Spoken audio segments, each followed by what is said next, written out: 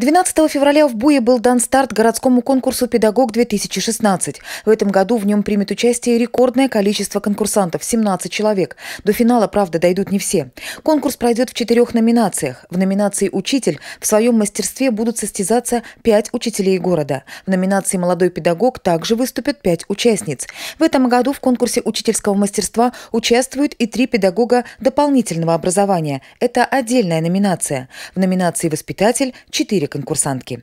Испытание состоит из двух этапов – заочного, который длился с 18 января, и очного, который продлится до 26 февраля. Заочный этап состоял из трех заданий – интернет-ресурс педагога, эссе «Я учитель» и методический семинар. В очном этапе педагоги дадут открытые уроки, примут участие в круглом столе образовательных политиков и проведут мастер-классы. Цель конкурса – выявление талантливых педагогических работников, их поддержка и поощрение, повышение престижа педагогического труда, распространение распространение лучших педагогических практик. С 15 февраля конкурсантки уже дают открытые уроки. Напомним, что они проходят в других школах на незнакомых для учителей классах.